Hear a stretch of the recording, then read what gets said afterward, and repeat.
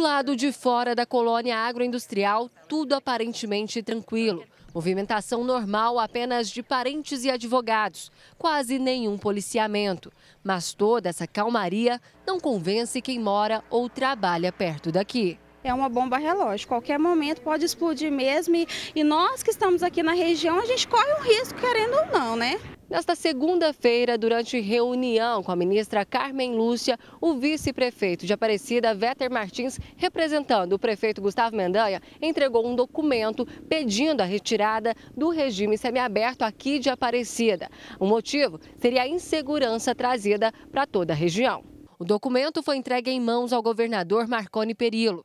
Nesse trecho, o prefeito pede para que não seja feita sequer a reforma do lugar e que todos os presos sejam transferidos. Ele ressalta que a estrutura do semiaberto é obsoleta e sem segurança e que a colônia agroindustrial está atrapalhando diversas negociações com empresários e investidores. Gustavo Mendanha ainda pede a transferência do complexo prisional para uma outra área. Eu acredito que isso aqui tem que sair são, já tem muitas casas, muitos bairros, não dá para ficar aqui, porque nós estamos presos, eles estão soltos. Foram três rebeliões no complexo prisional em menos de uma semana.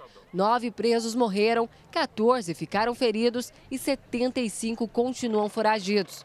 Durante a fuga, alguns detentos se esconderam nessa chácara vizinha. Os motins dos últimos dias reacenderam o medo de quem vive nos setores próximos. Medo de vir trabalhar, medo de sair de casa, seis horas ninguém sai mais, é todo mundo trancado, portão trancado, se alguém bater tem que saber quem é, ainda tem muito medo. Durante as revistas, depois das rebeliões, foram apreendidas armas de fogo, armas brancas, celulares. Vídeos feitos dentro do semiaberto mostram festas regadas a droga e bebida. Tudo ao som de muito funk. Os presos comemoravam o aniversário de Lucas Ribeiro, Planície. A festa foi no mesmo dia da primeira rebelião. A diretora do presídio foi afastada. Quem vive perto do semiaberto espera que o pedido do prefeito de Aparecida de Goiânia de transferir a colônia para outro lugar seja atendido logo. Lá não tem estrutura nenhuma para estar tá atendendo a quantidade de presos que estão lá dentro, né?